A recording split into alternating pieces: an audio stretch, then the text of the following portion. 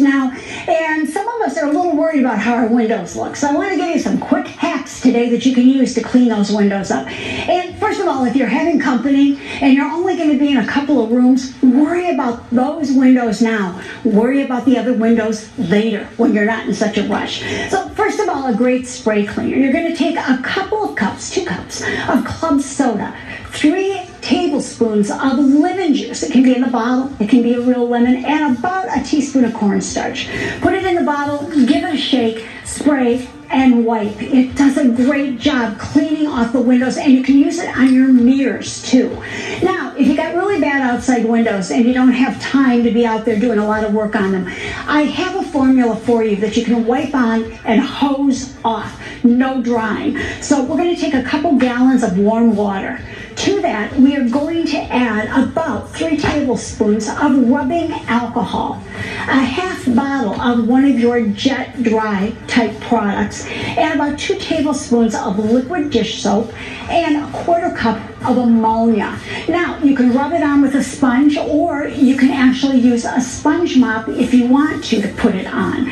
When you're done, all you're going to do is hose that window down and let it dry. Now, it's not going to be 100% perfect, but it's going to be way better than it was. Now, this formula is for tough jobs. You've got bird droppings on the window, you've got screen stains, you've got bug stains. How do you get them off? Well, this one involves no water. What we're going to do is take a pint of rubbing alcohol and put it in a bucket. That, we're going to add a couple tablespoons of ammonia and a couple tablespoons of liquid dish soap. Use a scrubbing sponge to scrub that on the window. When you have the stains off, go on with your regular cleaning. And this will take off all those really bad stains. Now, a quick and easy one that you can use on the windows and on mirrors is black tea.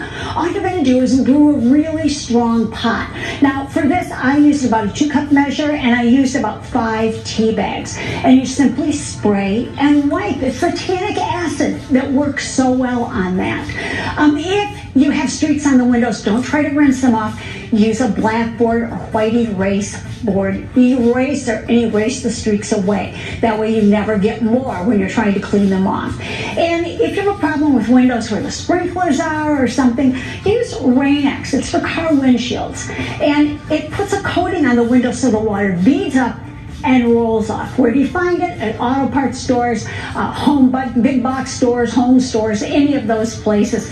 It'll do a great job for you. Last but not least, in an emergency, half a bottle of rubbing alcohol, half a bottle of water, spray and wipe those inside windows, and you're done. So hopefully this will help you get the house together for the holidays. Uh, check me out at Real Queen of Clean on Facebook and Instagram, and the Queen of Clean channel on YouTube, and of course at queenofclean.com. Thanks talking dirty with the Queen of Clean.